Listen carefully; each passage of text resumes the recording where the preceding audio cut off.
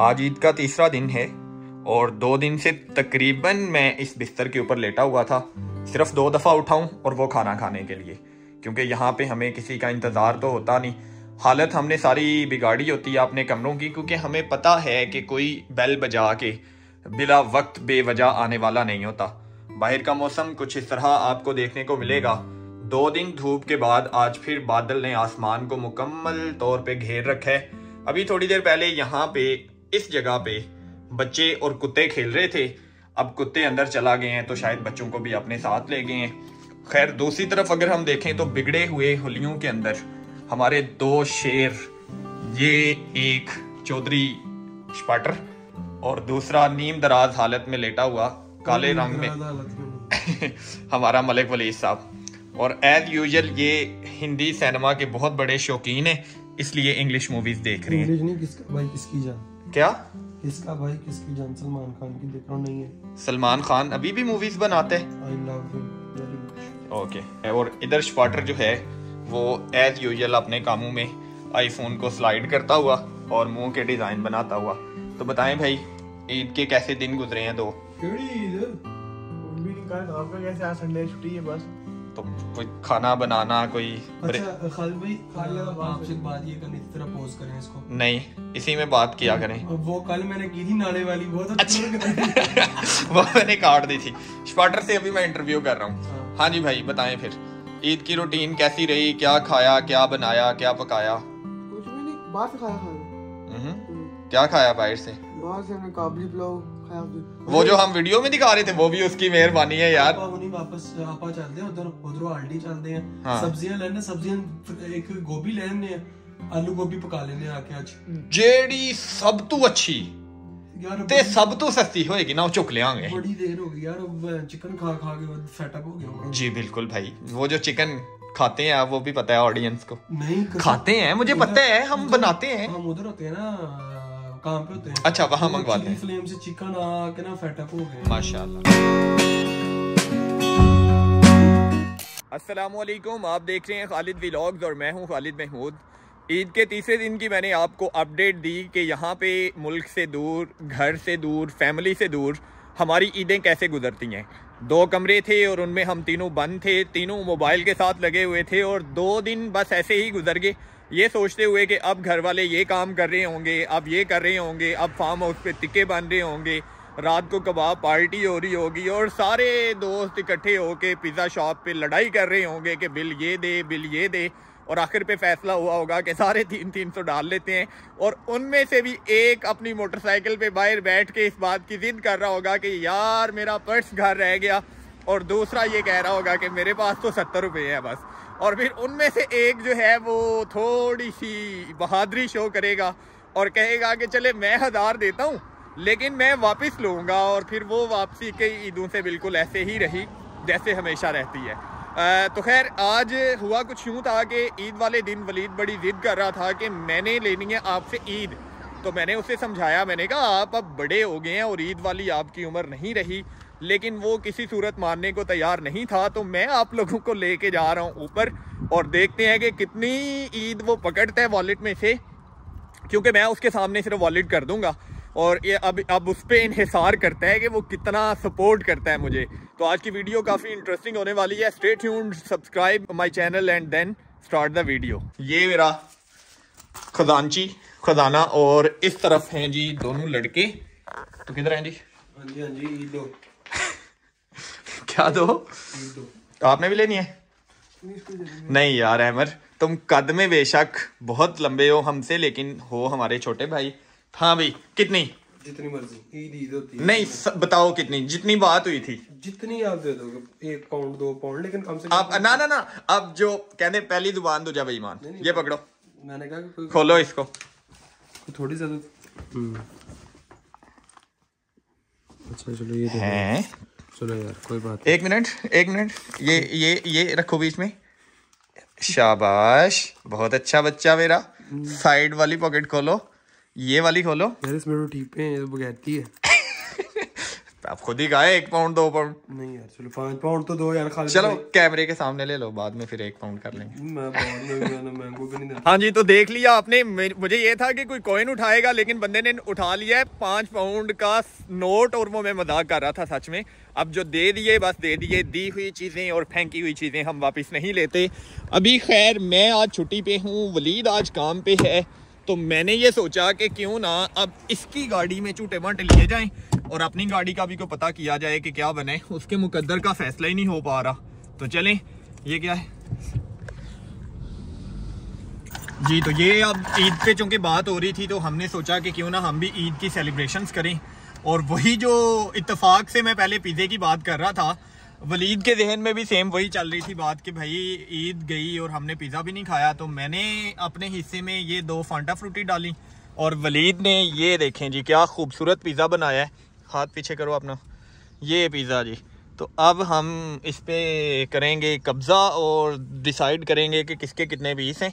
ये मैंने अभी कहा नहीं था आपको कि उठाओ। एक दो तीन चार एक दो तीन चार चार चार। चार चार है? ठीक है बड़े भाई के आप डाल लें दो और तो छः हो गए। और फिर मैं दो बोतलें भी लेके आया हूँ तो एक पीस और मेरा ऐड कर लें तो सात हो गए। पीछे कितने रह गए? पीछे एक रह गया और वो जो आपने डाइट स्टार्ट की हुई है आधा उसका निकाल लें तो पीछे। आधा और वो आधा अहमर का हिस्सा ठीक है जी ये मुझे पास कर दिया इसने। ये ऑन कैमरा पास किया या ऑफ़ द कैमरा भी ये? ऑफ़ द कैमरा मैं ले लूँगा कोई बात नहीं। या पता है सबको सबको पता है तुम्हारा। चलें जी उठाएँ इसको। तो ये यार व्यूवर्स का हिस्सा तो निकाले ही नहीं मैंने। व्यूअर्स खुद ही खाए ना चलें ठीक हो गया जी। व्यूवर्स आप खुद खाएँ प्लीज़ हम भी ज़रा ये खा लें। गाइस हम ये खा लें गाइस हाँ जी तो पिज़्ज़ा शिज़ा खाने के बाद और ईद पार्टी करने के बाद मैं और वलीद भाई अब कर रहे हैं यूके को एक्सप्लोर तो आप भी देखें। बादल हमेशा यहाँ पे बरसने को तैयार होते हैं। ऐसे जैसे सारे समंदरों का पानी इवेपोरेट हो गया ना यूके के बादल बन गया हुए और बस ज़रा सी बात नहीं हुई कि बस आसमान ने बरसना शुरू कर दिया। तो हमारे साथ, हमारे मायानाज ड्राइवर बड़े दिनों के बाद लॉन्ग ड्राइव पे मैं इनके साथ निकला हूँ। तो बड़ी कीन ऑब्जर्वेशन है वलीद भाई की लोग कमेंट भी करते हैं और ये बात सच भी है कि मैं इनके सामने नहीं, बल्कि हमेशा कहूँगा कि इनसे अच्छा गम खार यहाँ पे कोई नहीं है। मेरा ख़ास तौर पे कभी खुशी हो तो इनसे ज़्यादा मैं किसी से शेयर नहीं करता। कोई परेशानी हो तो वो भी, और बड़ी से बड़ी परेशानी को भी ये बड़ा आसान कर देते हैं। और अच्छे इंसानों की ये निशानी होती है, अल्लाह इनको खूबसूरत सी ज़िंदगी दे और अल्लाह इनको सलामत रखे। बारिश स्टार्ट हो गई हाँ तो देखें बात अभी हमने की है आसमान के बरसने की और देखें बारिश स्टार्ट हो गई है। तो वलीद भाई से मैं पूछना चाह रहा हूँ कि यूके जब भी वो आए जब से आए तब से इनका कैसा एक्सपीरियंस रहा? तो एक बात सिर्फ़ मैं पूछूँगा वलीद भाई आपने शॉर्ट्स आंसर करने कि यूके की अच्छी और सबसे बुरी बात। एक अच्छी बात एक बुरी बात। यूके की जो भाई सबसे अच्छी बात जो मुझे अभी तक लगी है ना इनके लोग बहुत कोऑपरेटिव हैं। आप कहीं जा रहे हैं या आपसे कोई यानी कि हो गया आपको रास्ता ये पहले देते हैं गाड़ियाँ रोक लेते हैं। ठीक है। ठीक है और जो इनकी सबसे बुरी बात लगती है यहाँ पे कोई भी साइकिल वाला चल रहा है ना हाँ। रास्ते पे है आपको उसके पीछे पचास गाड़ियाँ क्यों नहीं आप उसको ओवरटेक नहीं कर हाँ ये बात मैं व्यूवर्स को दिखा भी चुका हूँ कि अगर कोई भी जैसे यहाँ पे अगर साइकिल वाला जा रहा होगा तो आपने गाड़ी उसके पीछे रखनी है? बिल्कुल। तो ये अच्छी बात है ये बुरी बात तो ना हुई बुरी बात है ये बंदा यूके की एक और अच्छी बात है लड़कियाँ बहुत प्यारी हैं। शर्म। ये व्लॉग में ऐड करना है मैंने ऐड हाँ जी करें करें जानने दे मैं इसमें का गलत बात कौन सा की? है ठीक है बहुत अच्छी बात की है लेकिन हमारे टाइप की नहीं होती बीइंग अ मुस्लिम इनका कल्चर बहुत डिफरेंस है हमसे ना। मतलब ये होता है कि अभी आप देख लें, ये आम तौर पे ये कपल्स जा रहे होते हैं, बिल्कुल ना पाए पेरेंट्स को पता, और ये साइकिल वाले भी जा रहे हैं, अभी दोनों की बात हुई है। तो यहाँ पे ये होता है कि सैटरडे नाइट इनकी पार्टी होती है, और जो इन्होंने कमाया होता है, वो बस इन्होंने पूरा जो है वो सैटरडे को उड़ा देना होता है। और फिर उसके बाद अगले हफ़्ते की तैयारी करते हैं ये लोग। ज़िंदगी यानी ऐसे जीते हैं ये लोग कि जैसे कल नहीं होना। तो शायद इनका उसका हिसाब नहीं है। आखिरत का कि इनको कोई फ़िक्र नहीं है तो इस वजह से बस ऐसे ही फिर रहे होते हैं। तो कोई नसीहत करें आप?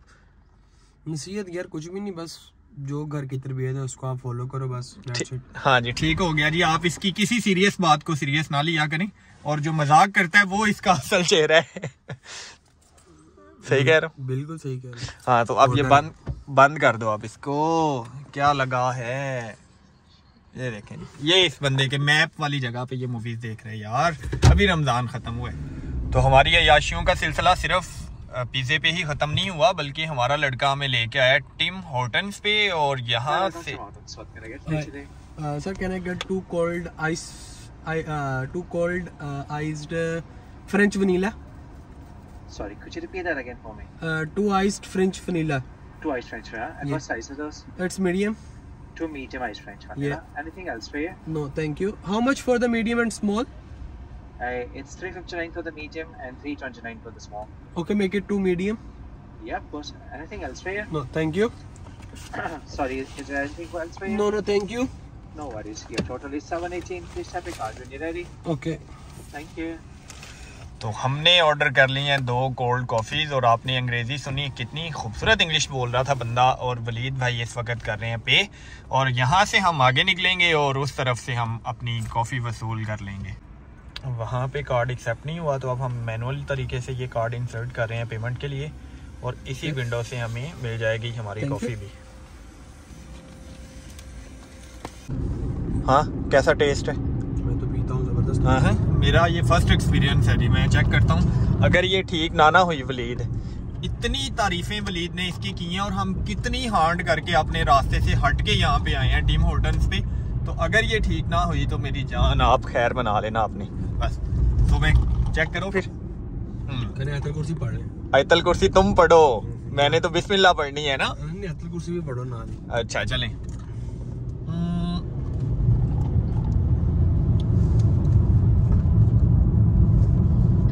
अल्लाह की कसम वलीद कड़वी है यार।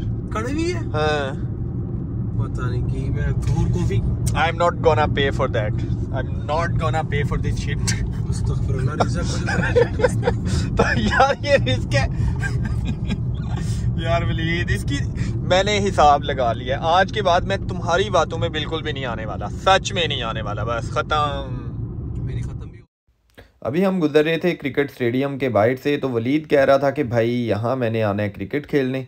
इसी के साथ हम पकड़ रहे हैं, घर का रास्ता, इजाज़त दें, मिलते हैं कल, परसों या फिर किसी और दिन। अल्लाह आप तमाम लोगों का हामी व मददगार हो। दुआओं में याद रखिएगा। अल्लाह हाफिज़।